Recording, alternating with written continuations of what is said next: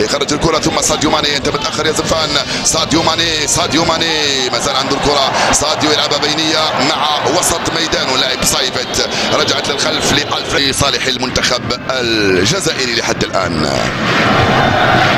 رائعه الكرة هذه من ساديو ماني.